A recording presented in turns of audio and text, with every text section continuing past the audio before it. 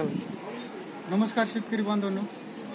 आम्ही गंगाखेड पालम तालुक्यामध्ये दुष्काळ जाहीर करावा म्हणून निवेदन दिलेलं आहे या ठिकाणी. तरी बी राजकीय लोक काय करतात? शेतकऱ्याकडे कुणाचीच मागणी नाही.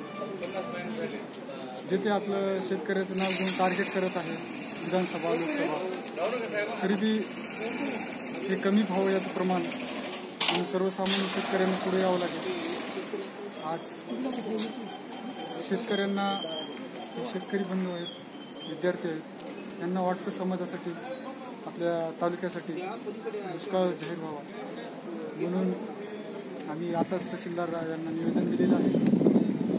तरीबी सर्व शेतकरी बा- बंधूंनी आपल्या आपापल्या समूहामध्ये राहून आपला आपल्यातीलच एक नेता सामान्य नेता समोर करून आपल्याला तहसील प्रशासनाला कळवावं आहे ही अत्यंत दुर्भाग्य आहे की आपल्या तालुक्याचं तसंच आपल्या जिल्ह्याचं कुठलाही नेता फक्त आपलं शेतकऱ्याला टार्गेट करून समोर येत आहे आणि मूळतः शेतकऱ्याच्या खांद्याला खांदा लावून शेतकऱ्याच्या न्याय हक्कासाठी कुणीही लढत नाही.